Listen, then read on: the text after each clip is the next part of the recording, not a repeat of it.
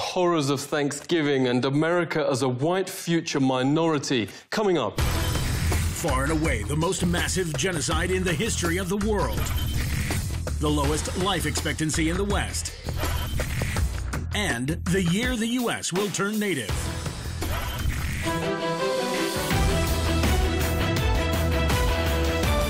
Virtually none of Thanksgiving has an ounce of accuracy, notes the bestseller Lies My Teacher Told Me. The idea of Europe bringing civilization to the Americas simply flips truth on its head. This is what European explorers actually found in North America. Far and away the most beautiful city on earth. Five times the size of London or Rome. Great towers and buildings rising from the water.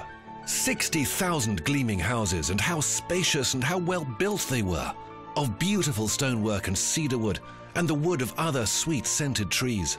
The many streets and boulevards of the city were so neat and well swept, despite the multitude of inhabitants, crisscrossed with a complex network of canals, like an enormous Venice, but also remarkable floating gardens that reminded of nowhere else on earth. While Europe was drinking water from its polluted city rivers, huge aqueducts transported America's water from fresh springs. But what impressed most were the special merchant areas where timber and tiles and other building materials were bought and sold, as well as greengrocer streets where one could buy every sort of vegetable, fruits, honeys, nut paste and chocolates. Astonished by the personal cleanliness and hygiene of the colourfully dressed populace, and by their extravagant use of soaps, deodorants, and breath sweeteners. Most Europeans never bathed and kept clothes on at all times. The Pilgrim's Notes biographer Zini Feiner had a terrible smell. Indians tried, quote, without success to teach them to bathe. The settlers also had bad breath from rotting teeth death and starvation was so common that corpses were just dumped in open pits known as poreholes. Many turned to alcohol and committed suicide. In fact, the story of the first settlers has been deliberately changed, notes author James Loewen, because the truth is so shameful. They actually settled hundreds of miles further south and stayed in America because the mission was a failure. Their real aim, reports historian Robert Beverley, was to find some gold and take it back to Europe. They spent their days digging random holes in the ground, haplessly looking for gold instead of planting crops. Soon they were starving and digging up putrid Indian corpses to eat. They took some Indian prisoners and forced them to teach the colonists how to farm. And the meal with the natives wasn't quite the Thanksgiving shown on TV and in schoolbooks. The colonists offered the Indians a toast to eternal friendship, whereupon the chief, his family, advisors, and 200 followers dropped dead of poison. In mainstream history books, perhaps the most common description of American territory then is virgin land. In fact, notes historian Peter Jennings, it was widowed. Horrific enough, the Nazi ethnic cleansings in Europe during World War II. Leading American studies professor David Stannard notes it's dwarfed by, quote, far and away the most massive act of genocide in the history of the world. The death of 100 million indigenous people in the, quote, American Holocaust. Some from disease, but also vast numbers from a deliberate policy aimed at wiping out the race that mainstream history books continue to pretend never happened. He knows when Heinrich Himmler called the final solution, quote, delousing, Himmler was only echoing the Pilgrim Army's rallying cry, nits make lice, nits being Indian babies. This was a map of Indian nations across the US. 80% of the first government's entire budget went on attacking existing Indian settlements to take their developed farmland. Settlers would most probably not have survived, writes Jennings, on their own. 95% of America's entire population was then wiped out. American Holocaust notes there is documented evidence of colonist leaders going town after town, deliberately killing all men, women, and children. Yet school texts and history books remain silent. Orders came from the very top. Under the direct order of George Washington, at least 28 of 30 Seneca towns and all the towns of the Mohawk, Onondaga, and Cayuga were simply obliterated. George Washington wrote, the Indian country, quote, must be destroyed. Thomas Jefferson called to, quote, pursue Indians to extermination. Nobel Peace Prize winner Theodore Roosevelt called beneficial the eradication of the native race. Stannard notes genocide was official public policy. California Governor Peter Burnett in his 1851 message to the legislature. Extermination must continue to be waged until the Indian becomes extinct. Another governor issued the public proclamation to, quote, pursue, kill, and destroy all Indians. A witness notes the ensuing bloodbaths practically wiped out the native race. The whites shoot them down like wolves, men, women, and children, wherever they could find them. This war of extermination against the Aborigines is tending to the final extinction of the race. What reportedly saved the race from extinction was their use as slave labor. This extermination policy has proved so injurious to the interests of the whites.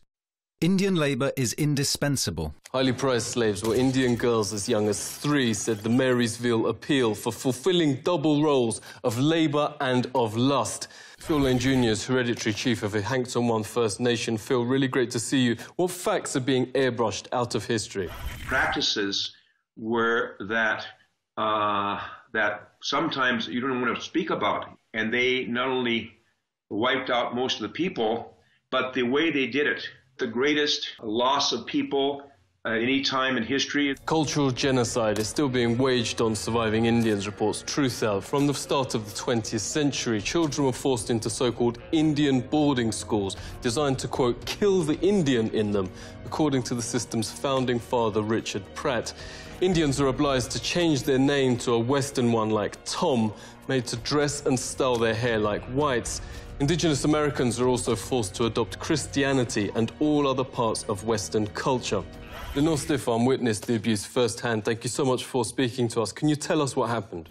Federal policy here was to uh, was to take the Indian out of the person. They beat the language out of out of like my father. He grew up his whole life. His hands were kind of uh, kind of bent as a result, he used to talk our native language, but he never wanted me to learn. I consider myself a recovering Catholic because of you know the sexual abuse that I experienced, you know, from the Catholic Church. Daniel Sheehan says the genocide is continuing. He's helped start the Lakota Child Rescue Project to stop the forcible removal of Indian children. Daniel, thanks a lot for coming on. Could you tell us what is happening to the children?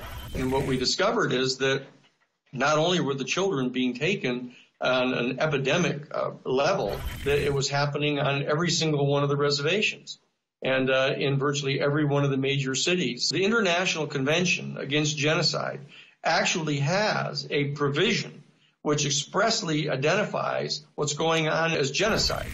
That the the systematic undertaking on the part of the racially dominant culture in a given nation state taking away indigenous children from their from their native tribes and putting them in the white culture has been identified as genocide.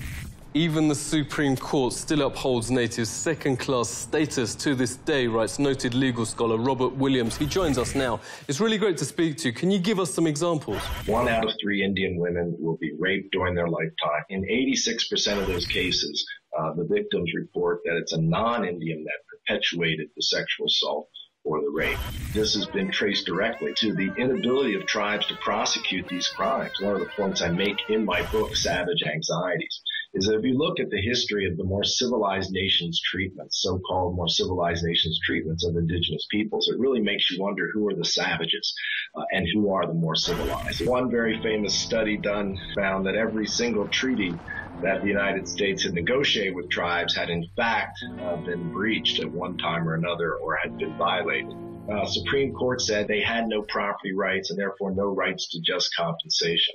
Uh, and there was some horrible language in the opinion about uh, how the court recognized that everyone knows that the savage tribes of America were conquered and the treaties were really meaningless anyway.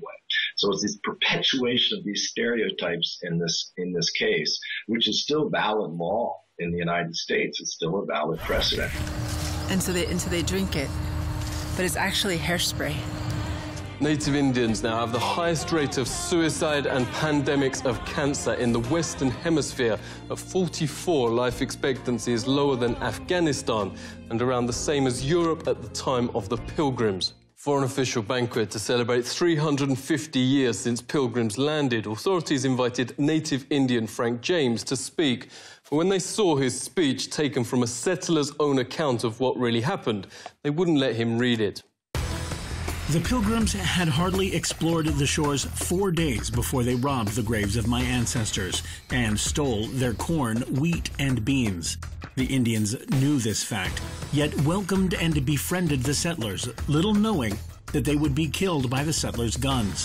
What has happened cannot be changed, but today we work toward a better America, a more Indian America, where people and nature are once again important.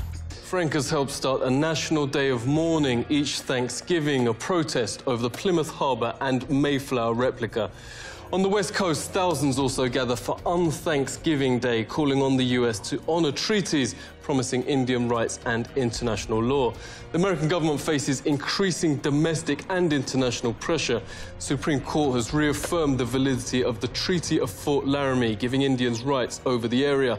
The United Nations, despite four countries voting against, Australia, New Zealand, Canada, and the United States, passed a resolution declaring Indigenous peoples' right to self rule.